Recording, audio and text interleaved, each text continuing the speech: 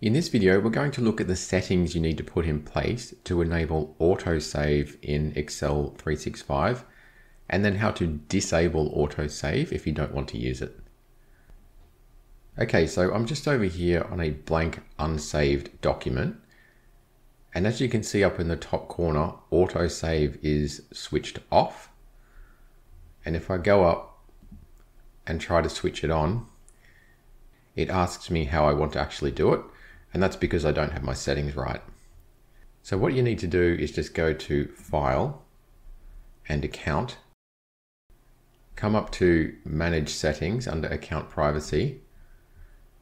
And just make sure you've got all connected experiences switched on. So just check this box that says turn on all connected experiences and click on OK. And then go to options, save.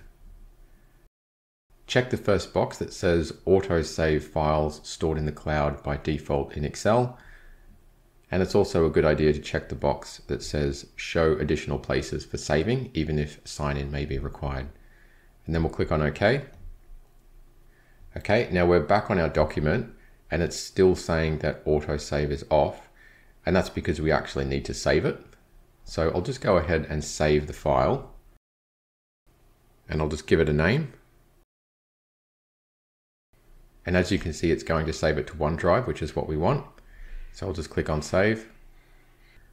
Okay, now up the top you can see two things have happened. The first thing is that it's changed the name to my spreadsheet, which is what I called it. And the second thing to note is that autosave is now on. Okay, so if you want to disable autosave, I could go up here and just toggle this off, and that would turn off autosave for this file. But I'll show you how to disable the settings.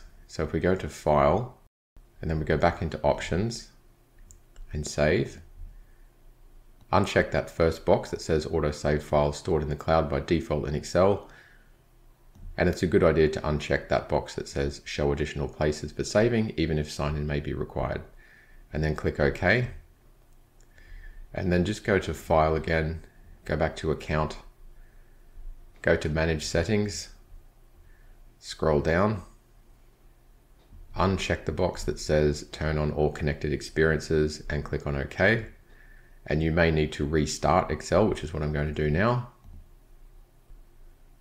Okay, so I've just restarted Excel and now I'll open a new blank workbook and you can see that autosave is off.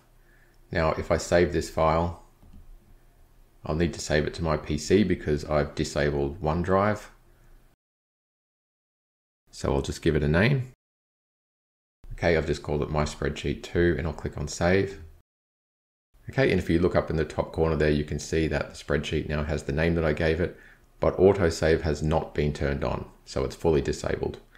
Okay, so now you know the settings to enable and disable autosave in Excel 365.